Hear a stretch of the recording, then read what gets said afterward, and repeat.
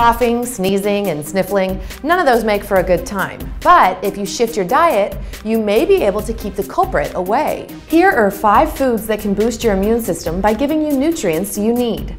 Pork loin is chock full of vitamin B6. Not only can it improve your immune system, it can also help with metabolism, emotional disorders, and heart disease. Noshing on tomatoes supplies your body with ample amounts of vitamin C, good for treating colds and helps maintain skin elasticity.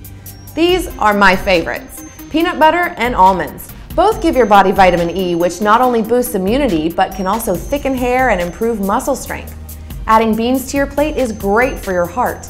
They're packed with magnesium, giving you energy and can help relieve muscle aches. King crab isn't just delicious, it also nourishes your body with zinc.